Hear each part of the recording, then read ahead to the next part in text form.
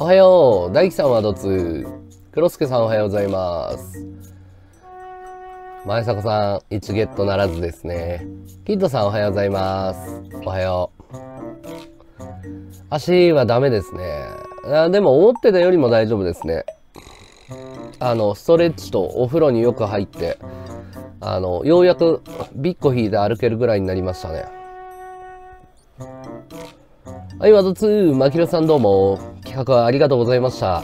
応援していただいて、本当に。なんとか達成できました。ありがとう。ただね、あの、2つほどショックなお知らせがありまして、えっ、ー、と、ウェブカメラが完全に行かれました。ウェブカメラがお釈迦になったので、えっ、ー、と、画質はこんな感じになります、これから。いやー、ちょっとショックだね。ウェブカメがぶっ壊れました。いやー、痛いよ、これは。これは痛いよね。最悪だよ。ウェブカメが大阪ですね。いや、マジか。もうね、認識しなくなっちゃったんですよ。ウェブカメラが。これアウトですね。どこが行かれたんだろうな。断線かななんか、雨に濡れてないっすよ。企画の途中でね、カメラをね、振るとね、なんか、あの、プツって切れることが多々あったんで、それが原因だと思うんすよね。多分ね、湿気でやられたんじゃないのっていう風にリスナーさんからは言われてて、その可能性が高いですね。湿気でやられたっていう。いやー、参ったなで、もう一個のマイクロソフトのカメラも引っ張り出してきたんだけどダメだったね、これも。これもダメだった。だから画質がちょっとこれからの配信悪くなります。申し訳ない。これ1万7000円ぐらいですね。1万7000円ぐらいのカメラですね。うん、次は何の企画するの？うん、いや、わかんない。全然決めてない。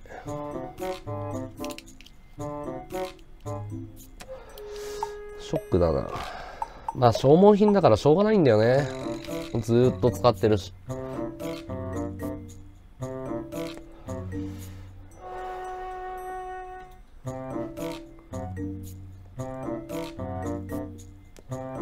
おはよう、大輔さん。おはようございます。楽しんでってください。画質がいいのがね、売りだったのにね。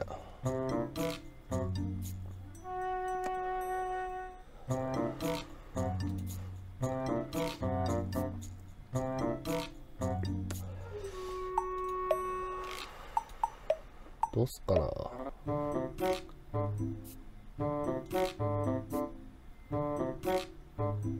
では、ドツ、ハッチいらっしゃい。足がボロボロですよ。今日は暗黒界隈がドラゴンボールスタンプラリーやる。今日からじゃないですよ。明日からですよ、ドラゴンボールのスタンプラリーは。あ、今日からかドラゴンボール。足はダメっすね。えっ、ー、とね、ドラゴンボールスタンプラリーは明日からっすよ。明日から。今日やってないはずだよ。1月の10日からって書いてあるから。明日だね。これやりたいよね。うん。うん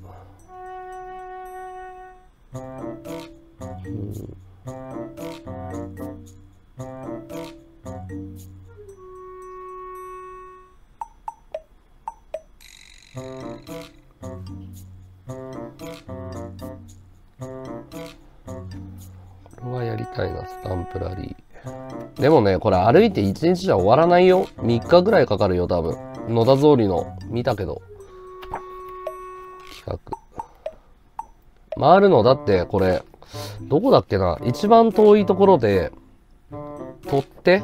千葉県の取っ手とか、我孫子とか、えっ、ー、と、赤羽とか、あと西荻窪、蒲田、羽田空港だよ。無理じゃない？範囲の広さ山手線じゃないよ。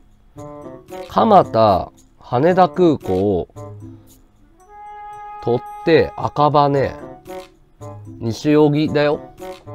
山手線だけじゃない。多分ね、あの、詰めて考えてないんだと思う、野田とかが。だって全部やるっつってんでしょ。65駅全部無理だよ、こんなの。3日かかるよ。で、歩いて回るとか言ってんの。全然分かってないでしょ。こんなん歩いて回れるレベルじゃないよ、1日で。始発から終電って書いてあったけど。はい、ワトツー、上線にいらっしゃい。こんなん無理だよ。お疲れ様です、ベルさん。お疲れっす。ウェブカメラがぶっ壊れたのマジで痛えわ。マジ痛え。やっちゃったね。足痛いよ、痛いよ。よ、あのね、初日は何が大変だったかっていうと、のんたん車で送ってくれたじゃん。で、何がきつかったかって、もう心切れてるわけよ。歩、もう歩かなくていいんだと思ったら、駐車場から家までね、20メーターぐらいなんだけど、そこがしんどかったね。気持ちが切れてたのに、あそこもビッグ引いて歩いたのよ。そう。で、もうその日はもうご飯食べてそのままバタンってもう寝落ちちゃったらしくて、寝ながらご飯食べてたらしくて、で、気がついたらもうずっと寝てて、一回ご飯食べて起きたの。ご飯食べて寝て起きて、じゃあご飯食べなかったんだ。で、起きたんだけどすぐ寝ちゃったらしいね。だから28時間ぐらい寝てたらしい。で、合間にお風呂入ったりとかストレッチとかしてたんだけど、ようやく膝は動くようになったけど、それでも、あの、痛いっすね。でも、まあ、後遺症とかは残らなそうだけど。なんかあの、なん、よくさ、初めの一歩とかさ、格闘漫画とかで試合の次の日動けないって言うじゃん。ああいう感覚に近いかもしんない。感想おめでとう。あ、勝さんどうも。きつかったね。山手線舐めてたらダメだね。ウェブカメラが死んで、古い方のウェブカメも起動させたんだけどダメだったね。あとバッテリーも一発死んだね。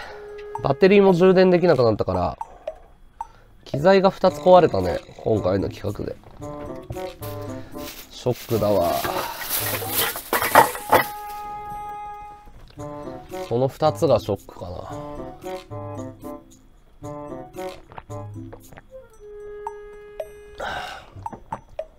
やるもんじゃないっすよ。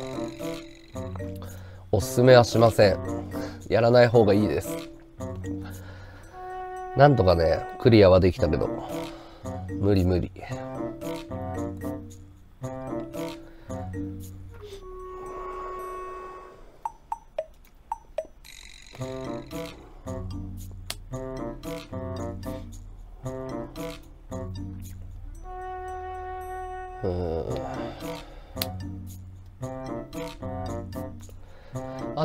れだね。リスワン1位取れたのがでかかったな。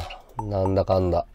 リスワン1位10日以内に取りたいっていう風に思ってたから、ふわっち配信者としてね、10日以内に取れたら、まあ上位に食い込めてるかなっていう評価になるから、そこは頑張ろうと思ってて、おかげさまでリスワンは取れたから、ありがたいっすね。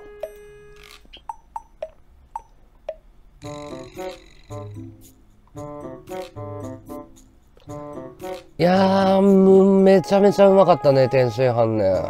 でもね、次の日になったらやっぱ味は普通になってたね。やっぱ肉体を酷使したその日だけだね。超うまかったのは。おい、みさきちゃんいらっしゃい。その瞬間の一日しか味わえなかった。もう、すげえ何も牛、何でもうまかったもんな。もう次の日には体が戻ってて、あーで、思い出したわ。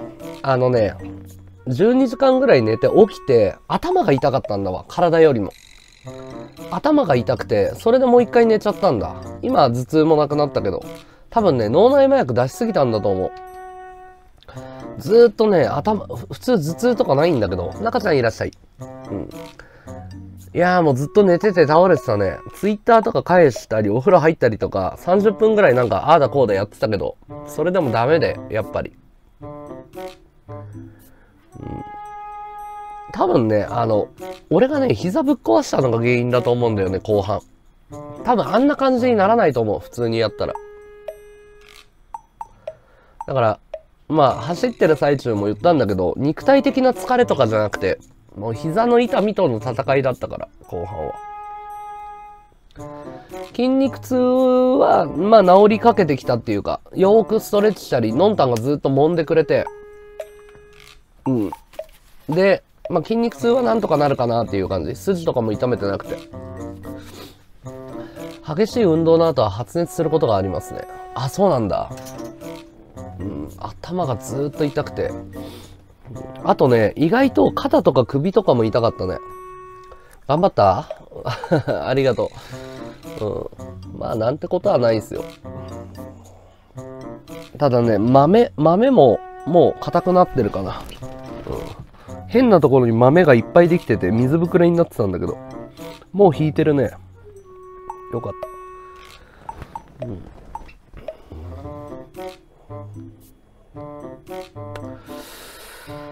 いや疲れたな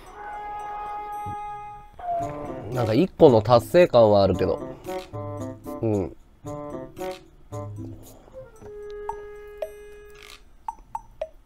多分俺のあのドラゴンボールの配信予想書いておくけど、ネルと、みどりさんと、あの、野田通り3人でやるって言ってるけど、あれ3人ともリタイアすると思うよ。3日はかかる。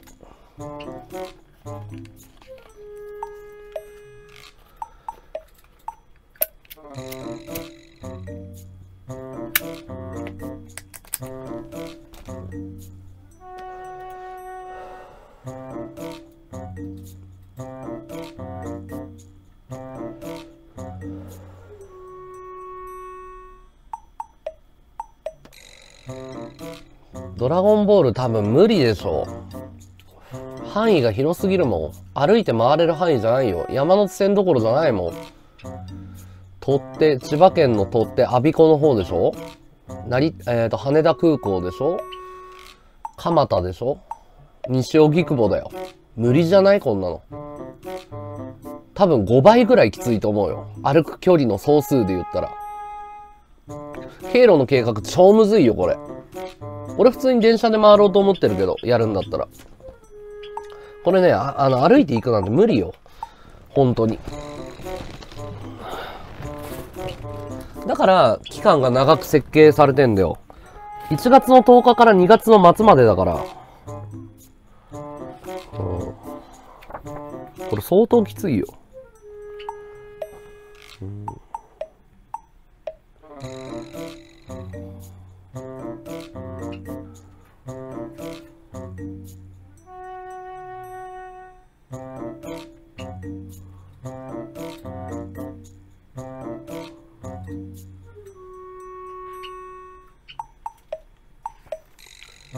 はいはい、ありがとね、大輔さん。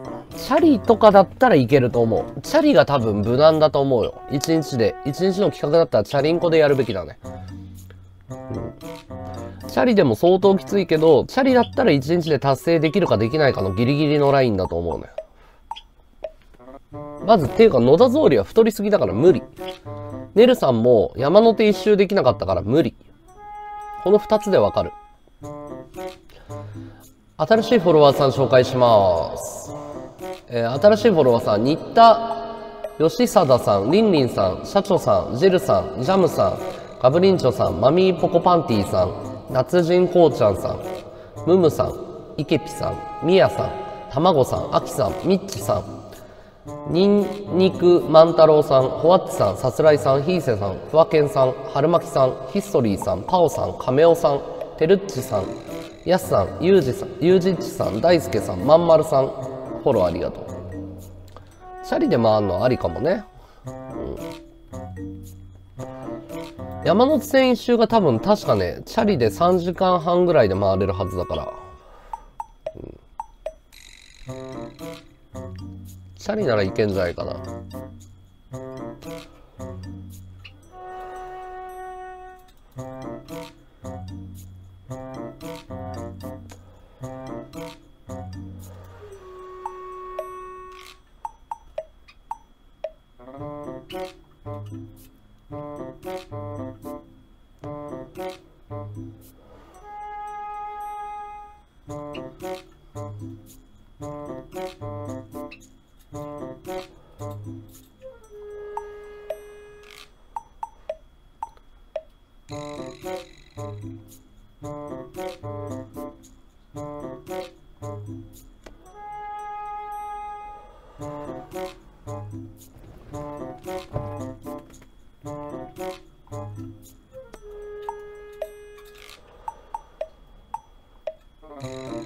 はい、たかやん、こんにちは。楽しんでいってください。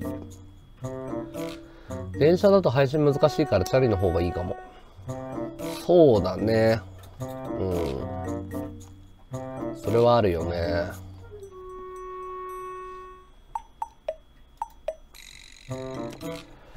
どうしよっかな。ウェブカメ、ウェブカメがなくなったらマジで痛えな。画質悪すぎるよな。携帯電話の配信の方がまだいいんじゃねえのこれ。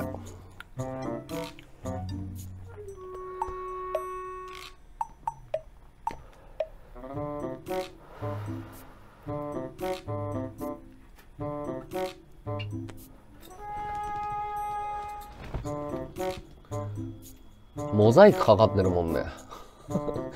カメラよりも画質悪いんだね。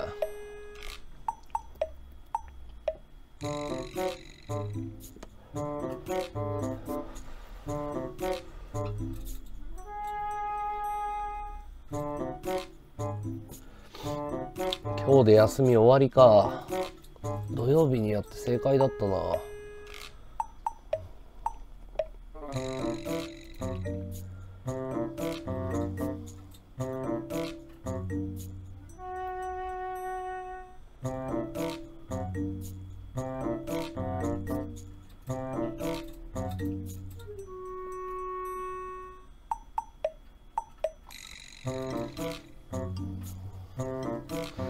ウェブカメね、買わないとね。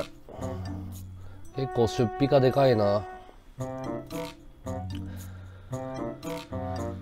花火何発残ってたっけ？花火、あれだよね。帰ってきたらやるって言ってたやつ。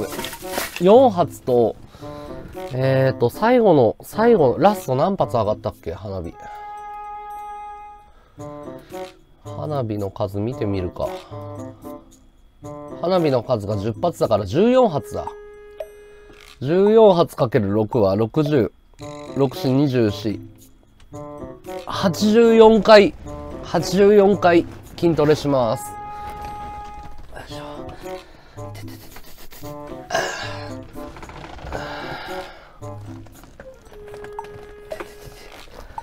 ああ、痛いよ。84回筋トレします。スクワットは無理です。よいしょ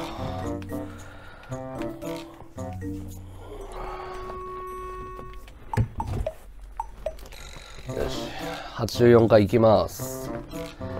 えー企画中に花火くれた人ありがとうございます。合計で84回やります。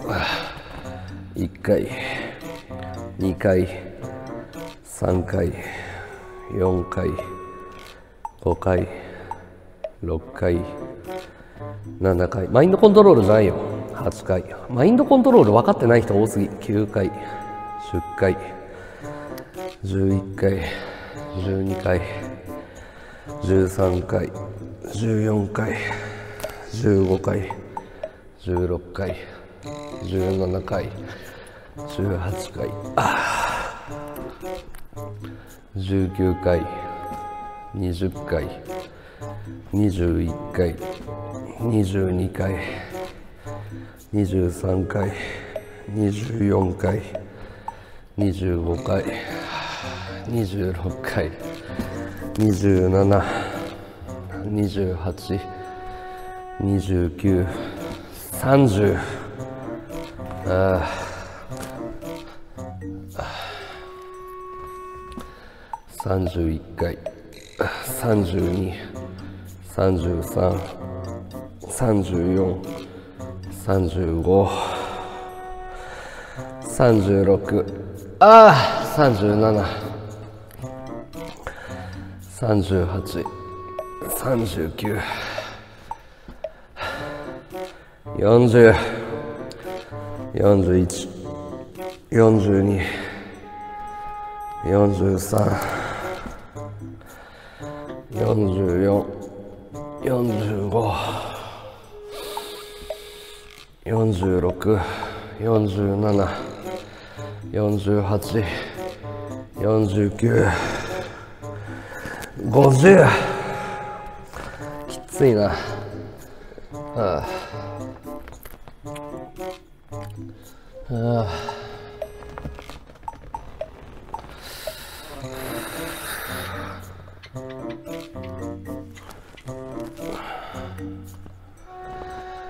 51ああ52 53ああ54 55 56 57 58 59 60 61 62 63 64回。ちょっと待って。あと20こんにちは。ニアルタスさんいらっしゃい。筋トレ中っすね。あと20回っす。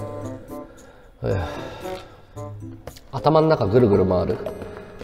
サブあのねマインドコントロールとかあのみんなね雰囲気で言ってるけどあれって厳密なテクニックだからね。マインドコントロールとか洗脳とか。あとマインドコントロールとか言ってるのは日本人だけ。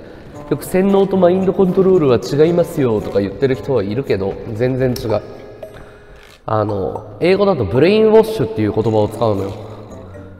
あのマインドコントロールっていう日本人が使ってる言葉。 brainwash っていうのは洗脳でしょ。マリー・アントワネットお疲れ様。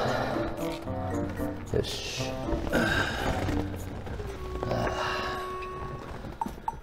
1回2回。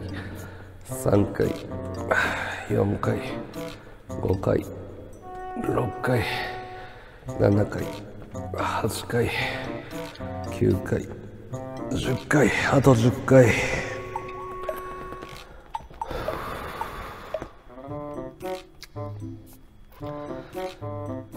あとね太ももを鍛えすぎたせいであの太ももが壊れたっていうのは分かったかな。太ももが重りみたいになってたんだよ。だから膝ぶっ壊したっていうその歩く用の体になってなかったね。太ももを鍛えすぎてね筋肉が重たすぎたんだよ多分。よしあと10回いきます。1回。2回。3回。4回。5回。6回。7回。8回。9回。10回。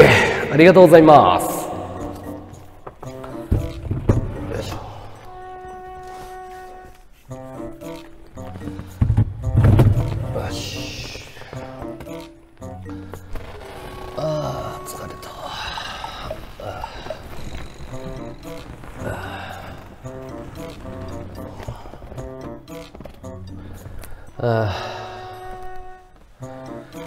体力系の企画もうやだな。もうやりたくない。体力系の企画はもうやだ。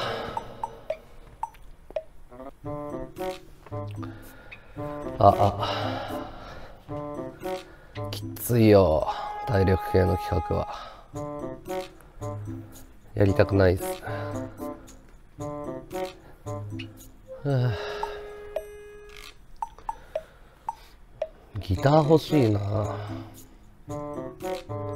ギター覚えたいねギター。レスポール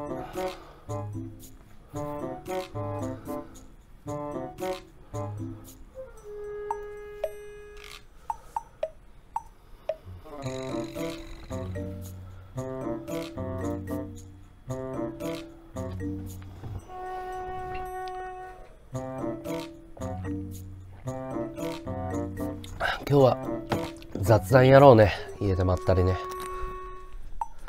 ちょっとあの大拭き取ってきます。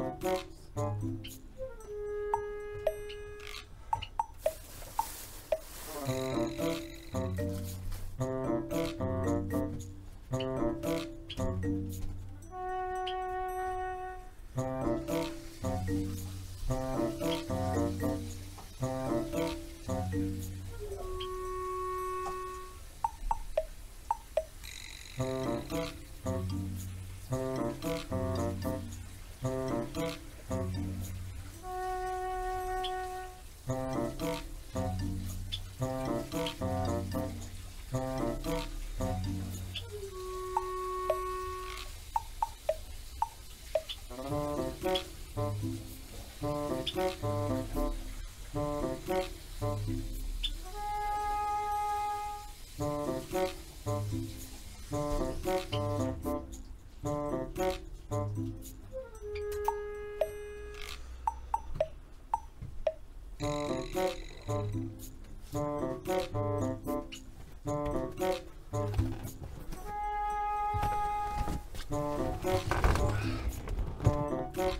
そっか。今日あれか。成人式が。成人式が。暴れ回るんだろうね、若者が。ヤンキーたちが。成人式の日に暴れるっていう文化何なんだろうね、あれ。日本だけ？なんで成人式に暴れようと思うんだろう。よくわかんないよね。全然大人になってないっていうね。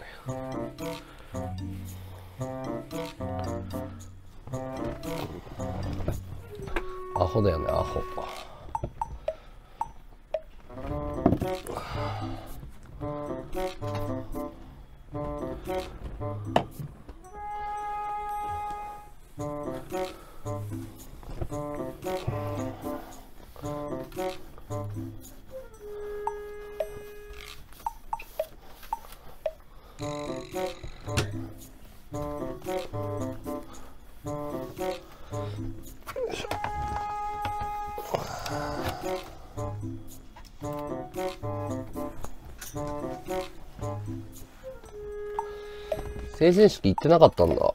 俺は行ったけどな。別にこれといって珍しいもんでもなかったけど、同級生と会えたりとか。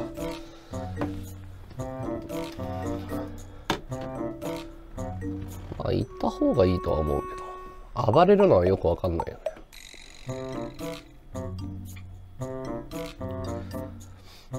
暴れて何の意味があるんだって。バンギャだったんだ。追っかけしてた。何追っかけてたの？誰追っかけてたの？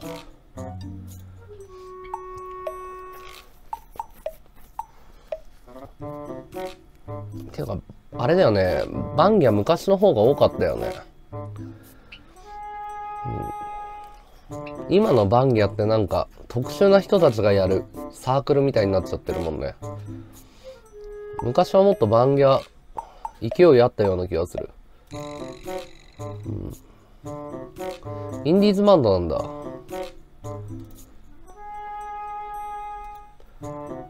なんかバンド名あげてよ。千葉県とかでインディーズで力持ってたの誰だろうな。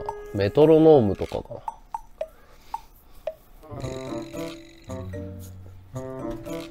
メトロノームワンマンで200人ぐらい入れてたような気がするな。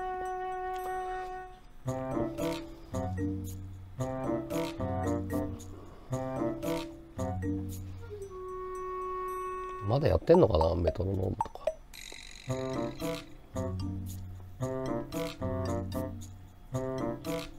あ地元に強いバンドとかいいよね。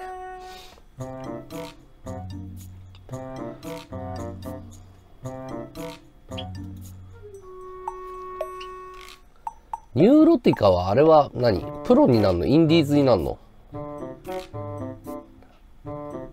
ああ、聞いたことないな。うん。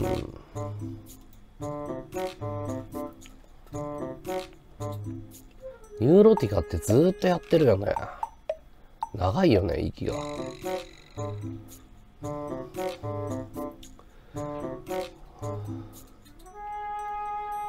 知らない。うん、彼に聞いた方がいいんじゃないのかな。知らないっすね。ガーゴイル。うん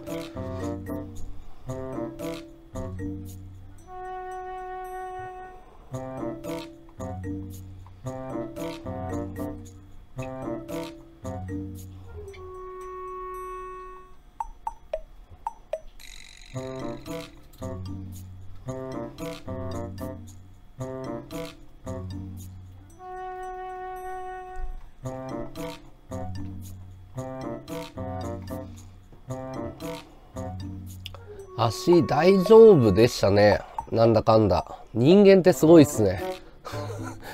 あんだけぶっ壊れたと思っても、2日ぐらい経つとなんとか動くようになりますね。だからアスリートとかが膝を壊すとかってよっぽどだよ。あ、もう足ダメかもって思ったけど、なんともないっすもんね。なんともないって言ったらあれだけど、動くもんね、ちゃんとね。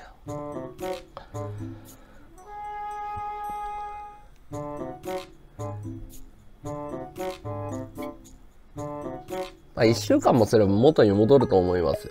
多分。血出てなかったね。豆はかなりあったけど、血は出てなかったね。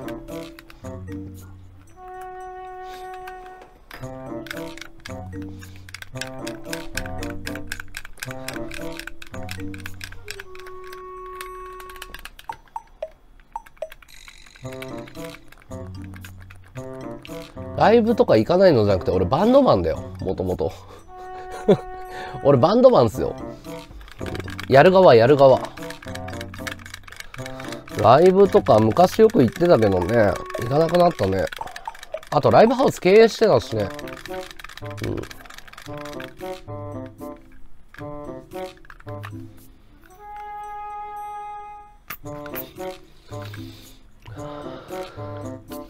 バ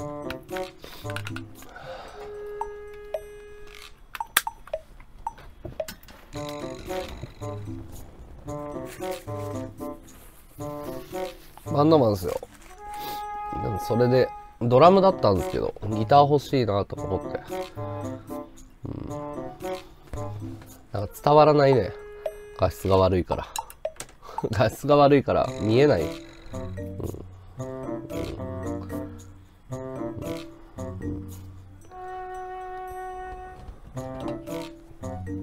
ニコ生の頃はだからドラマ配信とかよくやってたよ。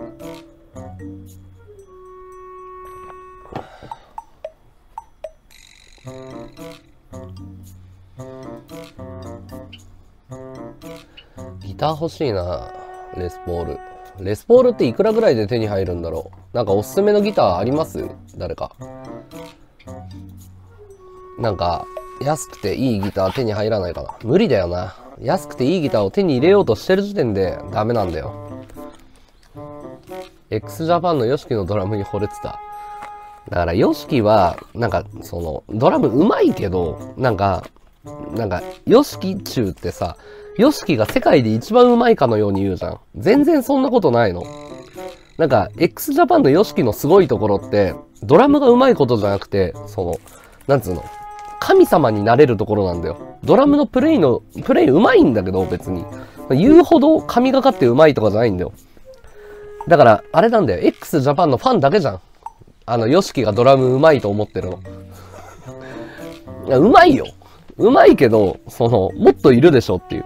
そうじゃなくて、ああいうドラム、ドラムテクみたいなのを日本に輸入したのがすごかったんだよ。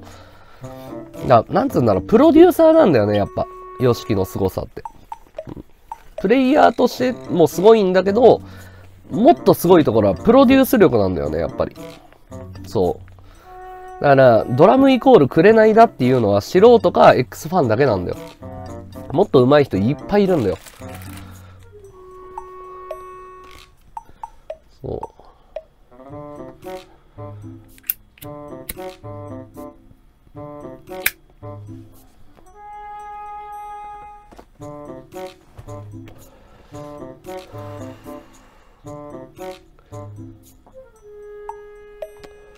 いるいる。全然いる。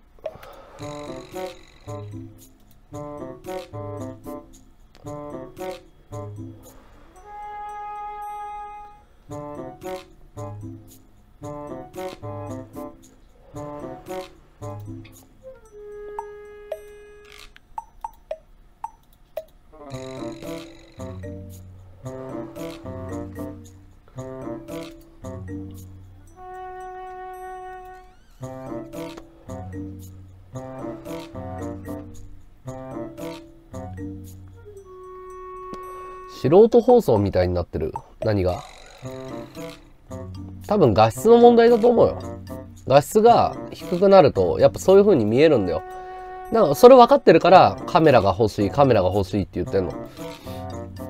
やっぱりね素人感出ちゃうんだよね。こういうカメラの画像画質が悪くなると。これ非常に良くないよね。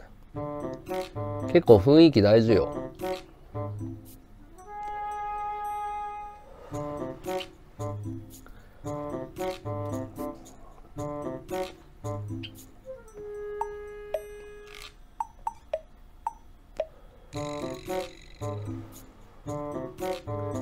プロ画質大事よ。あ、壊れちゃったんだよね。認識しないんだよ、なぜか。何が原因かわかんないんだけど、多分ね、内部が壊れたっぽいんだよね、内部の。その、なんつうんだ。精密機械の方。断線とかじゃないと思うんだよね。湿気かなんかでやられたんだと思う。もったいないよね。これはちょっとよろしくないよね。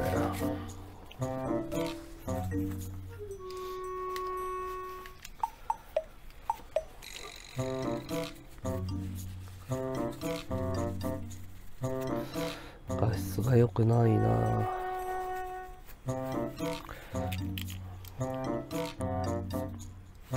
どこが壊れたんだろう？見た目上ではね断線してるっぽい箇所はないんだよね。いきなり来たかんな。普通ね徐々に徐々にあれあれってなるんだけどいきなり来たね。どこなんだろうな壊れたの。バラさないとわかんねえだろうな多分。バラす部分がないしな。参ったな。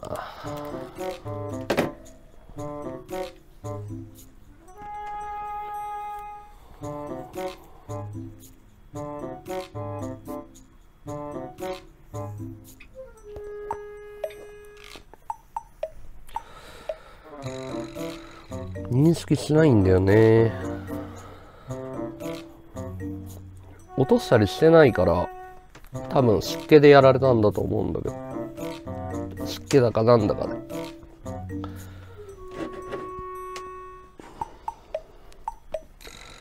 もう一回ぶっ刺してみっか。エラーが出るんだよね。もうダメだわ。USB デバイスが正しく機能してないって。ダメだね。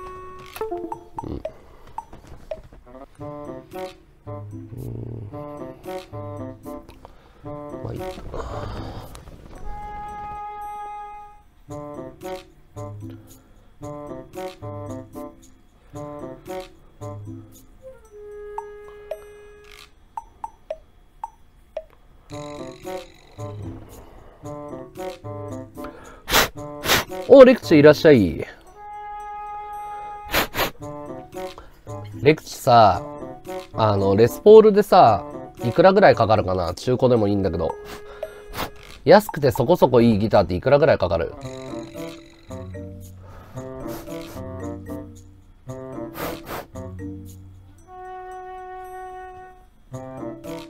いやー、あカメラ？うん、誰か支援してくれるかな、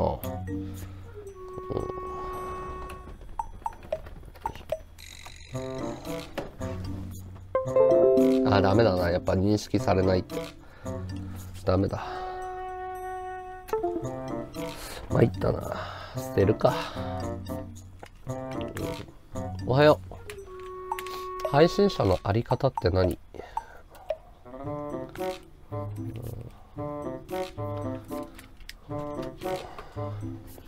バーガープレゼントありがとう。お疲れ様です。レスポールのギター欲しいな。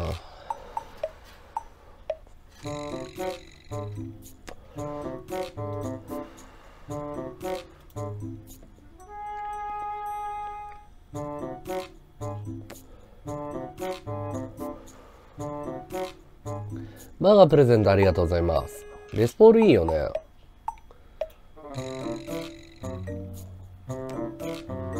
アイバニーズ。アイバニーズは、サウンド的に違うかなとか思ってて。アイバニーズ。アイバニーズって7弦のイメージがあるんだよな。まあ、6弦もあるけど、みんな7弦弾いてる気がする。アイバニーズ好きな人は。サウンド太いよね。メタル系じゃないの？ゾウさん？何ゾウさんって。PS1 ってなんだろうポール・リード・スミスかな ?PS10 か。ポール・リード・スミス ?PS10 って。メタル系強いですよね。メタル系の人が愛用してるイメージがあるね。ピックド、ピックガードがミラー。ほう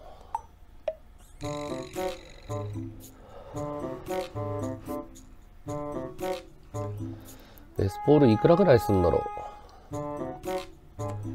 4、5万でいいのとか無理だよね。うん。ポール・スタンレーカスタムモデル。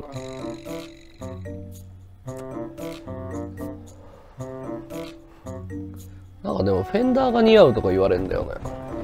俺フェンダーっぽいか。なんかテレキャスとかストラトが似合うって言われるんだよね。それくらいだったらフェンダーか。そうだよね。おはよう、みほちゃん。なんかフェンダー、フェンダー、フェンダーってなんか優しいイメージがあるんだよね。うん、フェンダーは優しいイメージがある。ロックやりたいの、ロック。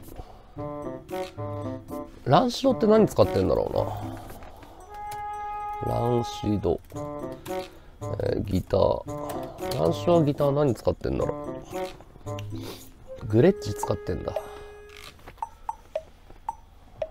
渋。え、ティムって今こんな感じになっちゃったの？すげえな。ティムすげえな、今。スキンヘッドで頭にモヒカンなんだ。頭にタトゥーなんだ。やば。ティム・アームストロングってこうなっちゃったの？ヒゲだるまじゃん。グレコかっこいいね。SG だ。あー。SG ってどれくらいで買えるんだろう ?SG、SG っぽくなくねえか、俺。あ、確かにな。ーラーズ SG なんだ。あーラーズ SG か。SG ってなんか軽いイメージがあるんだよな、サウンドが。レスポール重たいよね。無駄に重たいよね。SG はすごい軽いんだよね、やっぱ。うんグレッチのギターっていくらぐらいするんだろう？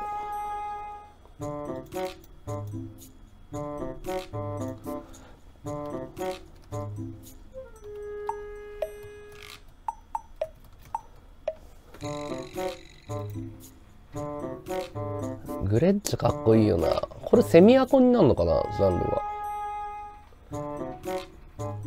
グレッチにしようかな。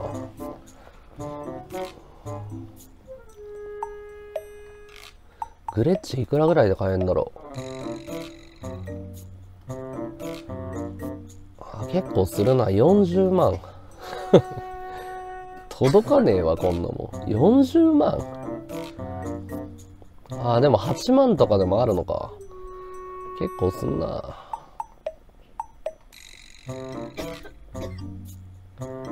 うん歩くの大変だったね。うん。大変だったね。グレコの方があんか。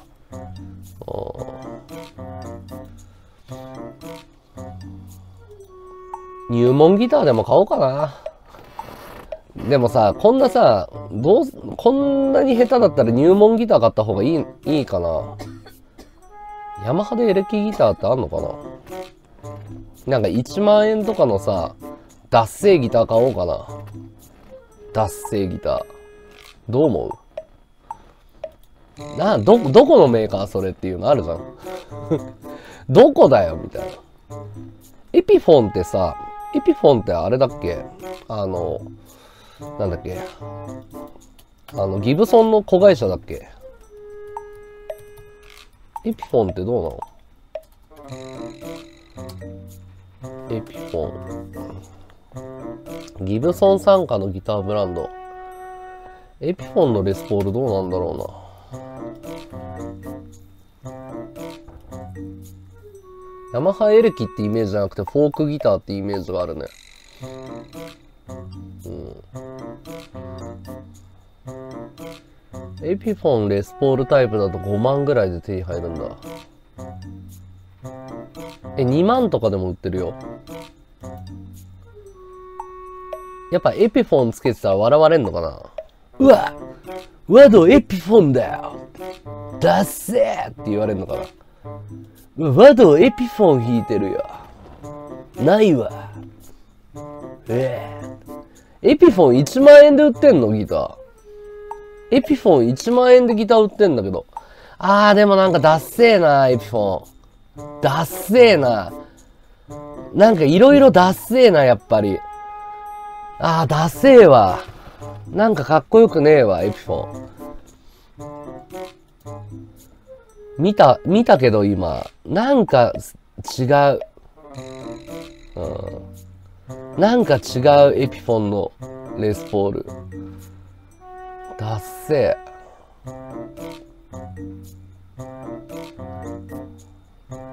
ZO03 っていうのは何だろう？弾きながら外配信？ZO03。なんだろうそれ。ZO03。あ、かわいい。これかわいいな。これあれか、電池入れとくと、あれか、外で音出せるやつか。これかわいいじゃん。え、これかわいくない？普通にいいんだけど。ゾウさんっていうの。え、これかわいくない？普通に。え、これ好きなんだけど、こういうの。これかわいいじゃん。これ良くない？これいくらすんの？え、ゾウさんかわいいんだけど。うん。嫌いじゃないよ。うーん。あ、でもこれあれだ。裏から通すやつだ。弦を。一回一回外して、う、あの、裏開けて、やるやつだ、多分。超めんどくせえやつだ。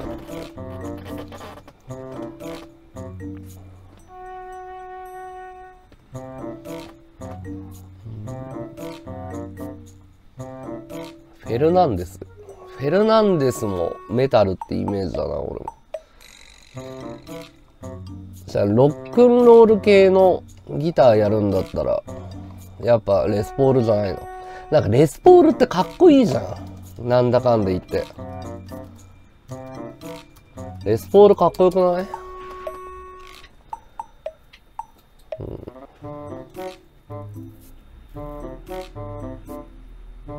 フェルナンデスはダメだな。なんか、あの、なんか、ダッセー。なんか、なピロピロピロピロやるギター、俺あんま好きじゃなくて、ダッセーは。なんか、うん、ダサい。なんか違う、あの、なんか、x ジャパンのメンバーが持ってそうなギターは全否定だから俺。イメージで。なんか、その、トゲトゲしてるギターあんま好きじゃない。シンプルでかっこいいズドーンって感じのギターが好きだから。そうなるとやっぱレスポールじゃん。トマベチはレスポールのヴィンテージオタクでなんか同じレスポールを200本ぐらい所持してんで1本200万ぐらいするクラシックのレスポールを部屋の中に全部同じのブワーって並べてるの。アホだよあの人、うん、トマベチはギターオタクだから。ねこれは何だろう。ポール・リード・スミス。手、手届く？え、嘘。ポール・リード・スミスが4万。は？嘘。これどこ？え、ちょっと待って、安すぎない？これ。え、嘘。これ良くない？え、ポール・リード・スミス4万。え、めっちゃいいじゃん。え、なにこれ？池袋駅。え、これマジで言ってんの？え、普通にいいじゃん。ポール・リード・スミス4万。ただ、色がダッセーな。色、いや、これめちゃめちゃいいでしょ。ただ、色が半端じゃなくダサい。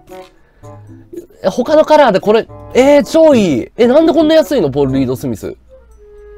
え、マジかよ。え、なにこれ？え、どういうこと？ポール・リード・スミスでこんな安いのあんの？いや、めちゃめちゃ解読でしょ、これ。え、これやばくない？ただ、色がダッセーな。半端じゃなくダセーな。いやいや、ポール・リード・スミスって言ったらさ、もうさ、部屋に飾れるギターで有名じゃん。もう備品としてもう飾れるぐらいさ、かっこいいって有名なのに、何このダサさ。誰がデザインしたのこれ？うわぁ、ポール・リード・スミスで一番ダセーわ。今まで見てきたポール・リード・スミスで。あ、ポール・リード・スミスでこの値段で売ってんならありだよな。あー、これは、カラーがもしよかったらか即買いだよね。え、でもさ、これダサくねえか？この色。40万の間違いだよねこれ普通に。え、本当に？安すぎない？これ、安すぎるでしょ？マジで？4万1000円って。え、どういうこと？俺この値段でポール・リード・スミス売ってんの初めて見たんだけど。よく見つけたね。え、レスポールでこういうのないの？いや、ポール・リード・スミスもありだと思うけど、ポール・リード・スミスはもう完璧なギターだからな、あれ。何でもできるからね。あの1台で何でもできるもんね。4万やったら買いだけどさ、でもよ、でもダサいじゃん。色が。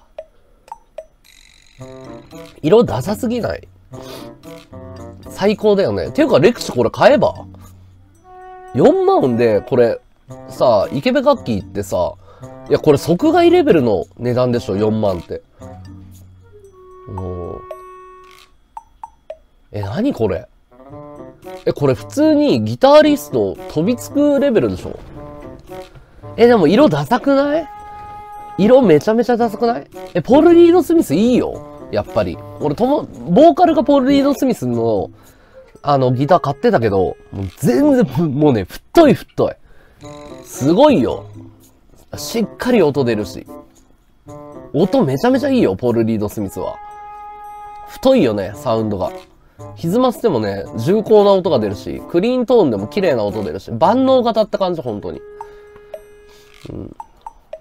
万能型。いやーでもな、これな、ちょっと色がないわ。色がおっさん向けすぎる。渋すぎる。何これ。もっと他に色あったでしょ。なんでこの色チョイスしたの考えられねえわ。ポール・リード・スミスって安いモデルあんのかなラッカーで色つけろ。うん。でも、ほら、キッズたちが俺に憧れてギター始めるわけだから、やっぱ和道って言ったらこれだよねっていうギター選びだから。いや、この値段はすごい。よく見つけたね、それ言う。これはすごいわ。よく引っ張ってきたわ。他にないのここういう値段、この辺の価格帯で。10万以下ありまくる？ポール・リード・スミス。俺初めて見たよ、4万。しかもこんな綺麗な状態で。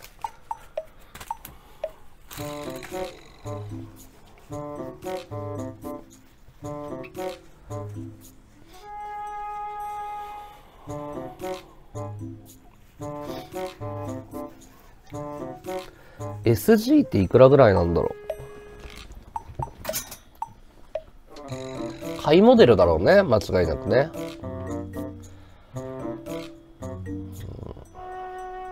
やっぱレスポールがいいわ。レスポールでなんかかっこいいので安いの。音はね正直ね気にならないから、うん、弾けないからどうせ。見た目がかっこいいのがいい。無茶言ってんの分かってるけど、うん。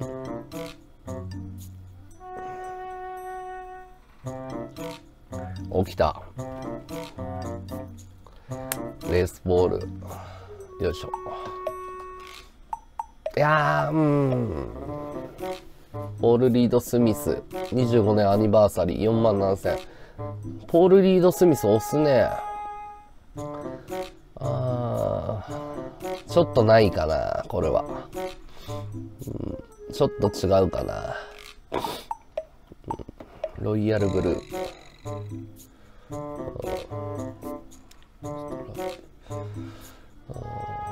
フレット残り3、4、7割、8割程度。製造国が韓国か。うん。ちょっとないかな。ちょっと微妙かな、これはうん。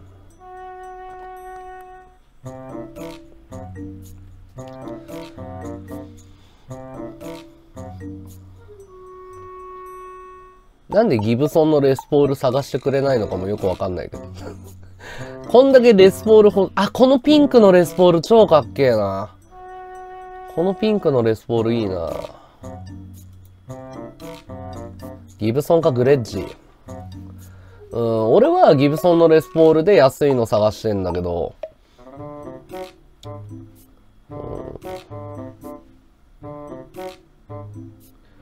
グレッジもかっこいいよな。グレッジって重たいのかな？グレッジっていくらぐらいだろ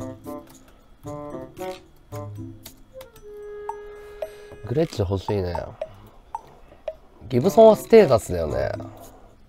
グレッジも可愛いよね。グレッジかっこいいんだよな。グレッジってでも高いイメージあるんだけど、安いのあんの？グレッジのギターって。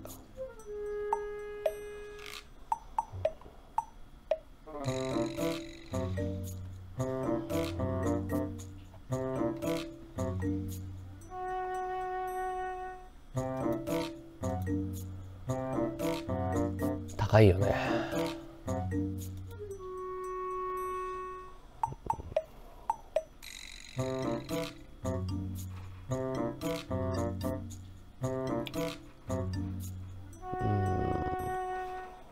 グレッジやっぱ高いね。グレッジかっこいいんだよなでも。グレッジのかっこよさはわかる。なんか品があるよねギターなのになんか気品があるっていうか。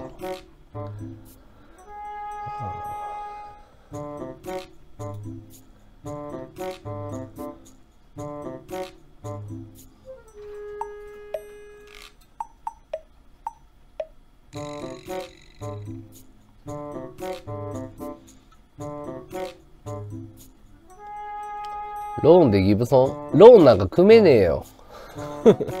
ローンなんか組めねえよ。現金一括だよ。ローンで買うほど本格的にやるやつはもう骨うずめる覚悟がないと無理でしょ。あの音楽に。もう趣味でピロピロ弾きたいだけだから。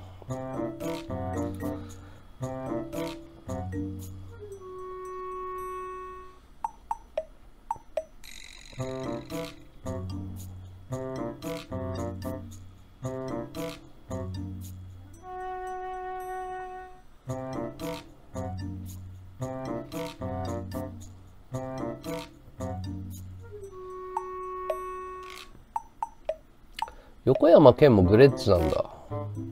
えー、知らなかった。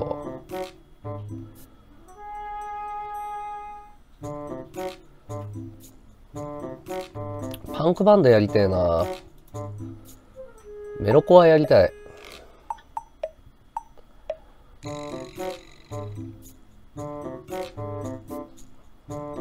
お、ギブソン来た。一番安い。さあ来い。それ言う。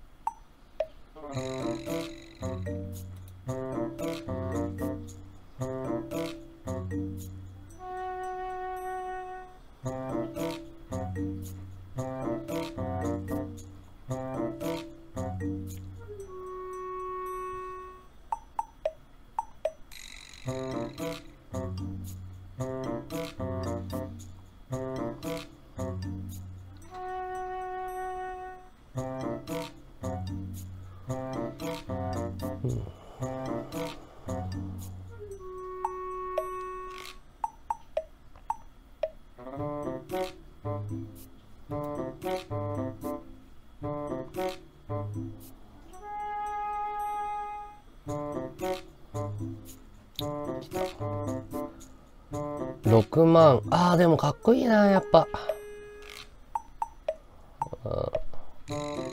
メロディーメーカー。2014ああメロディーメーカー。買いモデルかな。うん。無理だな。レスポールは諦めよう。ああ無理だよやっぱ。いいギターは高いんだよ。よくわかったわ。よ金持ってねえと買えねえんだよ。いいギターは。うん。無理無理。無理だわ。舐めてたわギターを。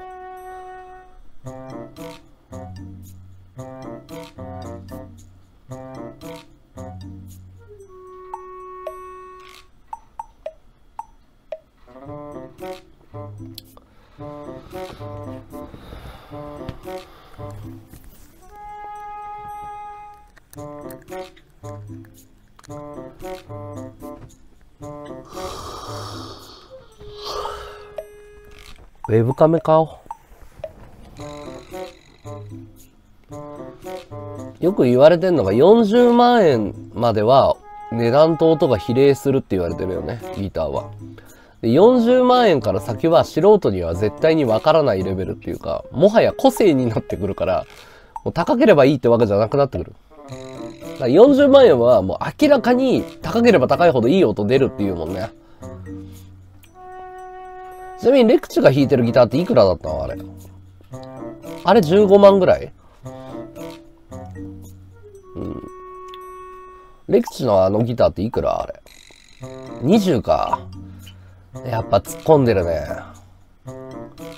バイト代フル、フル突っぱぐらいだよね。やっぱギター好きだったらそれくらい突っ込むよな。うん。そう、楽器は絶対値段と比例する。先輩が弾いてたなんだっけ40万のギターで、なんか有名なギターの名前、なんかローカルメーカーで有名なギターの名前、メーカーちょっと上げていって。先輩がね、40万のギターすげえかっこよかったんだよ。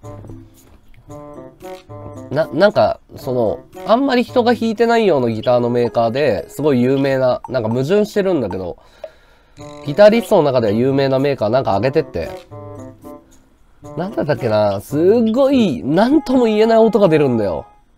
いじりまくってたけど、ミュージックマンじゃない。なんだっけ、ギターなんだけど、6弦ギターで、なんだっけな？ちょっとみんなバンバン上げていってくんない？なんだっけな？先輩が弾いてたあれめちゃめちゃかっこよかったな、今考えると。デザインとかも。未だに見たことないし、あの人の音は聞いたことない音すんだよな、ほんと。なんていうギターだっけな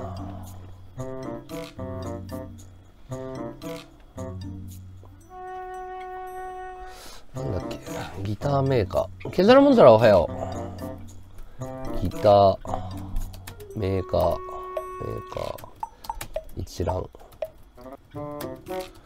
ギターのメーカー一覧。うん。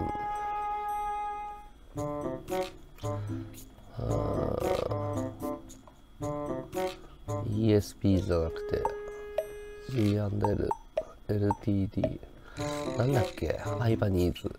国産かな？わかんない。今調べてる。アリア。あれいっぱいあるなイーストマ。ンバレアーズバンズウィン。アリアじゃない。エドワーズエピフォンオーネッツオベーション。あー出てこないな。ギブソン。キャパリソン、キラー、ギルド。キラーのギターも癖あるよな。グレコ、グレッジ、コンバット、サー、C&L、サ、サドウスキー、シェクター。シェクターだったっけな？シェクターのギターだったっけな？あ、シェクターかもしんねえ。シェクターだったっけな？シャーベル、ジャクソン、シルバー、スカイアーズ、サンバーガー、スティーブン、ピーター、ステーザスク、スペクター、ディーンデイジロックディバイザーアンダーソンナビゲーターバニーパーカーバッカス PB え PB ってギター出してんだ。フェルナンデスフェンダーフェンダーフジゲンヘイマーポール・リード・スミスマイク・ルールマーティンミュージックマンギターズ多分シェクターだと思うんだよな。うんシェクターだったようなライン6も出してんだ。リッケンバッカーだっけな。ちょっと待って多分シェクターだと思うのシェクターのギターだと思うんだよね。検索するわ。シェクターかな？シェクターシェクターの40万ぐらいのギター。あシェクターシェクター。多分シェクター。シェクターだわ。多分。多分ね。多分シェクターだわ。あシェクターだ。合ってる合ってる。シェクター。これこれこれこれ。シェクターのギターだわ、うん、シェクターっていうメーカーのギターを使ってたんだけど、めちゃめちゃかっこいい音すんの、その人のギター。シェクターで40万ぐらいのギター弾いてた。なんとも言えない音すんだよ。本当になんとも言えない音。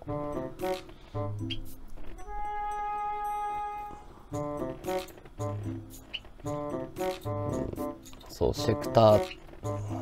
シェクターの赤のギター、赤と白のツートンかな。ピックガードが白で、ボディが赤。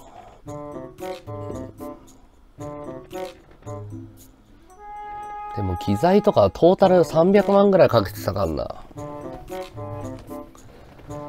うーん、ハードロックかな。ハードロックとかミクスチャー系だったけど、うん、もう本当に聞いたことがないんだよ。その、その人の音って一発でわかるぐらい。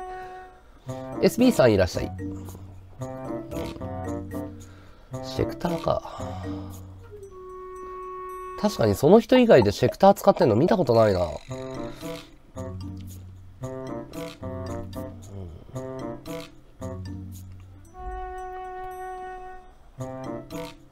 あんまり見ないよね。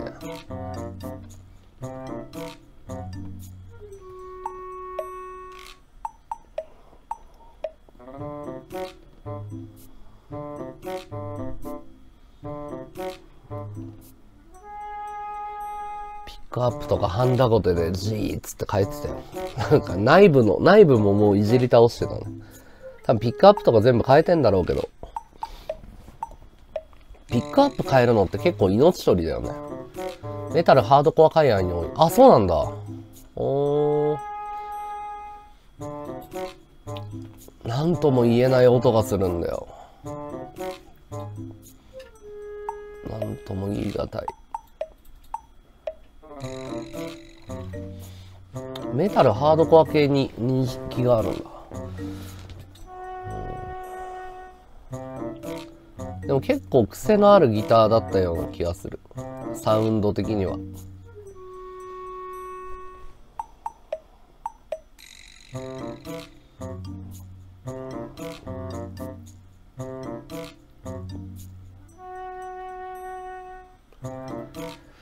SG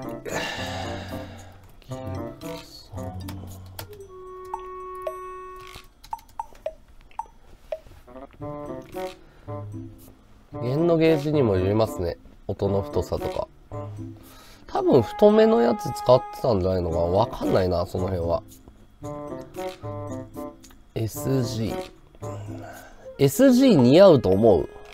俺。SG っぽくないよね。SG なんか個性が強すぎるんだよななんか。なんかね前になんか SG 可愛いじゃん。なんか角っぽいじゃん。悪魔っぽいじゃん。可愛いよね SG とにかく。SG だったらレスポールの方が絶対かっこいいよね。SG 可愛すぎるんだよな。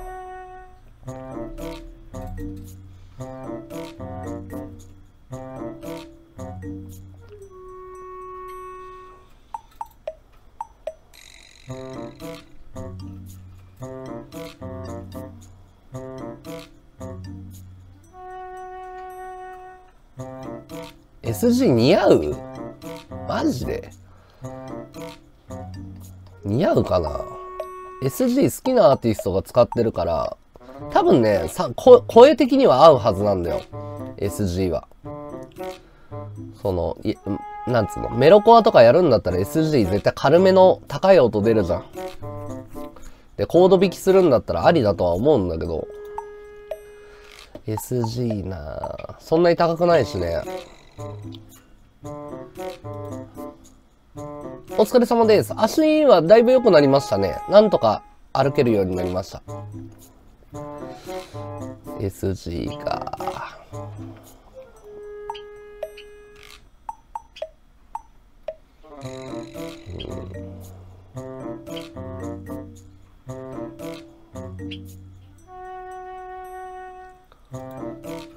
ランドセルに SG は合う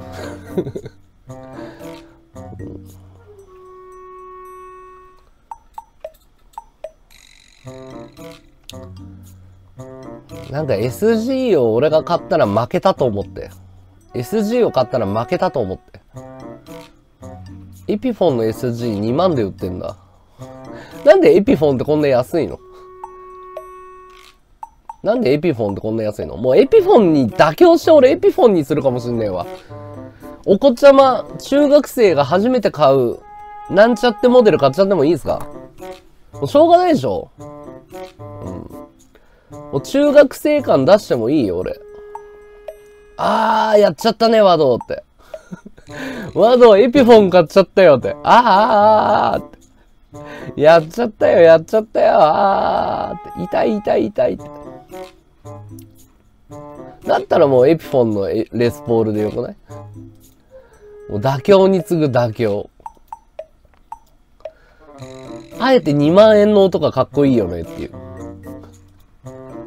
エピフォンジャパンいい値段すんの？そうなの？うん。ギブソンの子会社だね。でも、なんか安いんだよね、やっぱ。エピフォン。でもさ、エピフォン持ってるとバカにされなかった？ライブハウスで俺バカにしてたもん。エピフォンかよみたいな。やっぱさ、なんかバカにする風潮ミュージシャンの間でない？なんか2万円ギターとか弾いてるとお前バカだろっていうさ、あるよね。楽屋とかでめっちゃいじられてたもん、高校生とかが。ないわつって。何貧乏なの？とか。バイトしろよとかめっちゃ詰められてたもん。楽屋ですげえバカにされんだよ。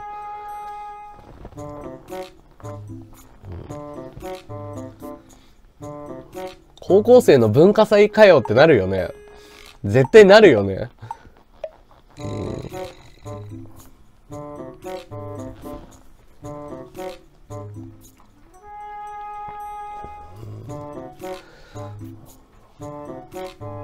セミアコアプロ、え？セミアコアプロでも使ってる人いる。おー。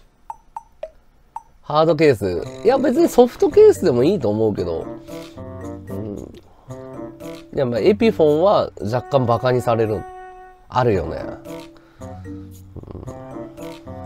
うん、そこをあえて堂々とやるっていう。エピフォンを極めるっていう。エピ、あえてそのみんながダサいと思ってるエピフォンのマックスのスペックを出すっていう。うんエピフォンでもう改造しまくる。鬼改造するのよ。エピフォンのギターをピックアップ変えたりとか。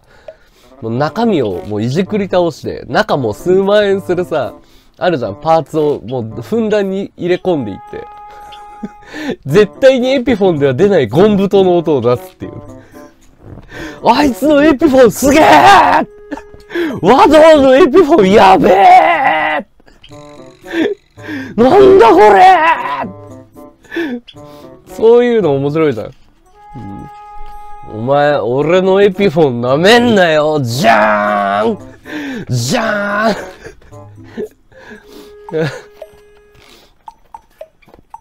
中学生たちを震撼させてやろうかな。高校生バンドに夢を。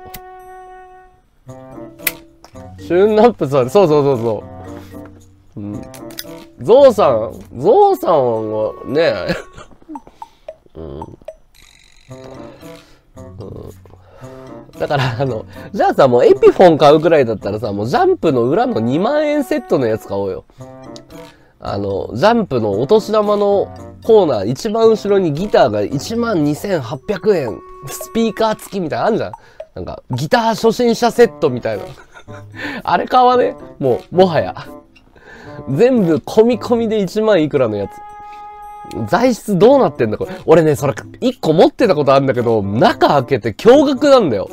もうね、びっくりするんだけど、ベニヤ板を重ねたような、もうね、ほんと笑うよあの、1万円のギターね、ネックとか取り外して全部バラしたことがあるの。もうどうなってんだろうっつって。もうね、ベニヤ板をプレスしたような、なんかもう、これよく作ったな、これで、みたいな。すっかすかなのよ、ギターが。見た目とは裏腹。あれはすごいよ。よくこれで作る気になったなっていう。初心者セットありだよね。逆にね。うん、爆笑だよね。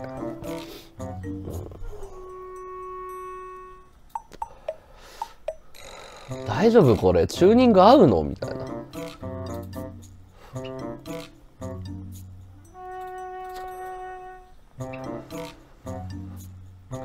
でもさ、ギターってさ、木の材質がとか言うけど、絶対俺違うと思ってんだけど。絶対ピックアップとかさ、あの、電子回路の部分がでかくない？絶対そうだよね。なんかさ、よくさ、いや、この時代の木はいいとか言うけど、うん。この時代の木はやっぱ違うわとか言うけど、絶対俺違うと思ってんの。電子回路の音だよ、あれ。絶対。エレキギターなんだから。多少はあるかもしんないけど、なんか、詐欺だよね。ネックは曲がっても別に直せるじゃん。うんネックは曲がるもんだから。おはよう、ラオウさん。で、パンクバンドをちょっとやりたいんだよね。パンクバンド。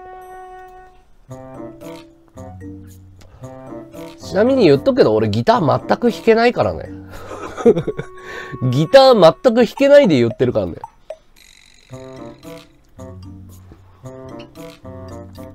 でもさっきのポール・リード・スミス4万は確かに買いだよな。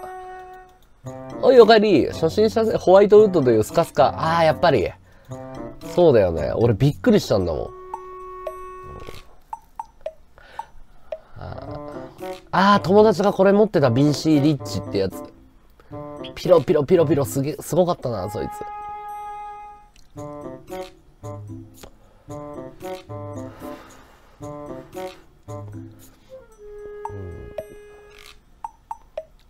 ESP も結構人気あるよね。買いに行きますか俺所持金全然ない今。お金下ろさないと。所持金全然ない。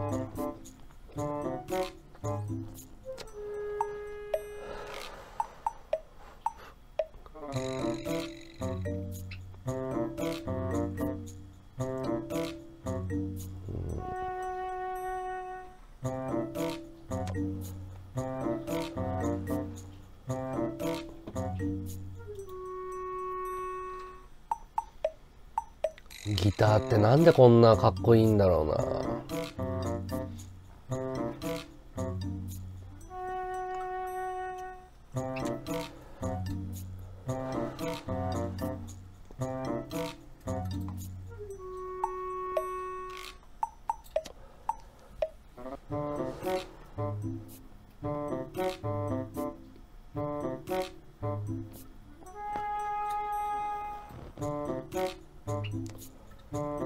フリマとかで安く譲ってくれる人を探すのもありだね。あ、ありだね。